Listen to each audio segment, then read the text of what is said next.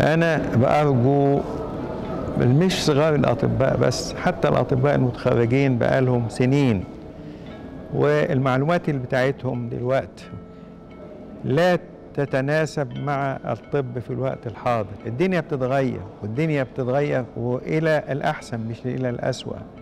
وياخدوا بالهم إن حضور المؤتمرات بيتعلموا الجديد لأن هم ما عندهمش وقت إن هم يذاكروا كتير وخصوصا الناس اللي هم العيادات بتاعتهم مشغولة بشدة.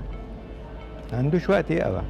فيحضر المؤتمرات دي هيتعلم في وقت قصير كل ما هو جديد في هذا التخصص عشان يستفيد لنفسه ويستفيد للمرضى بتوعه إن هم بيتعلموا على أحدث نوع من العلاجات المتوفرة دلوقتي. لأن الدنيا يعلم الجميع إن العلم اللي اتعلموه زمان أيام ما كانوا في الكلية مختلف عن الموجود دلوقتي.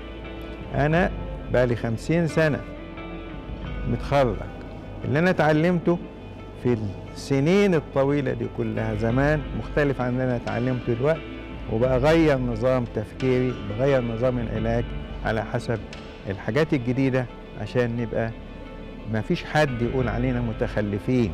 وخصوصا ما بيروحوا البلاد العربية والعادين بتوع البلاد العربية يقعدوا ينكتوا عليهم إن هم المعلومات بتاعتهم معلومات قديمة وما تنفعش دلوقتي وكلام من ده لأ أنا أحضر وأتعلم عشان أبقى على المستوى الكويس قوي بحيث إن أدي الواجب بتاعي على أفضل ما يمكن وشدوا حيلكم وربنا معاكم. والسلام عليكم ورحمة الله.